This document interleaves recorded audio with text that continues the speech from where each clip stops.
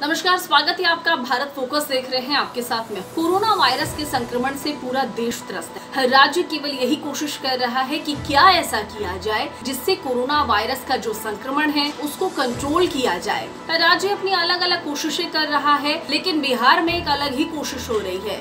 या यूँ कहें की राजनीति एक अलग तरीके की हो रही है। बिहार विधानसभा का चुनाव फ़िलहाल आया नहीं है, लेकिन आरजेडी के नेता तेजस्वी यादव ने इसका बिगुल एक ट्वीट के ज़रिए फूक दिया है। जी हाँ आरजेडी नेता तेजस्वी यादव ने ट्वीट किया है और इस ट्वीट में उन्होंने बिहार का मूड बताने की कोशिश की है। क्या कुछ कह रहे हैं तेजस्वी यादव? चलिए आपको बताते हैं। तेजस्वी यादव ने अपने ट्वीट में पहले तो लिखा कि, भैया, मैंने तो सोच लिया है। अब की बार चुनाव में गाँव के बाहर बोर्ड लगाना है। तेजस्वी यादव ने कार्टून के माध्यम से सरकार पर तंज कसा और बीजेपी वाले वोट न मांगने आए ऐसा लिखा। जी हाँ उन्होंने लिखा है कि बीजेपी वाले वोट मांगने गाँव के अंदर न आए, जहाँ हैं, वहीं रहें। जैसे ही तेजस्वी यादव ने ट्वीट किया, उसके कुछ ही देर के बाद में जेडीयू आखिर कैसे पीछे रहती? जेडीयू के स्पोक्स पर्सन ने भी ट्वीट किया और लिखा कि कोरोना महामारी के बीच आरजेडी के मन में चुनाव की बात वाकई शर्मनाक है। इससे अटल जी की एक पंक्ति याद आ रही है। सरकारें आएँगी,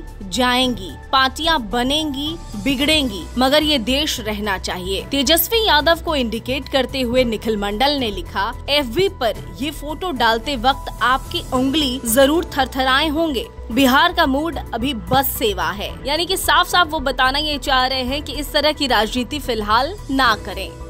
बिहार में इस संक्रमण के दौर में इस तरह की सियासत क्या दर्शाती है, ये तो आम जनता पूछेगी ही। या फिर वो सत्ता पक्ष हो या विपक्ष, दोनों से ही इस तरह के सवाल किए जाएँगे कि आखिरकार इस तरह की महामारी में क्या करना चाहिए क्या नहीं करना चाहिए, किस तरह के ट्वीट्स करने चाहिए, ये तो ज़रूर हर एक दल को पता होना चाहिए। और ज़्यादा तमाम खबरों के लिए आप देखते रहें भारत फोकस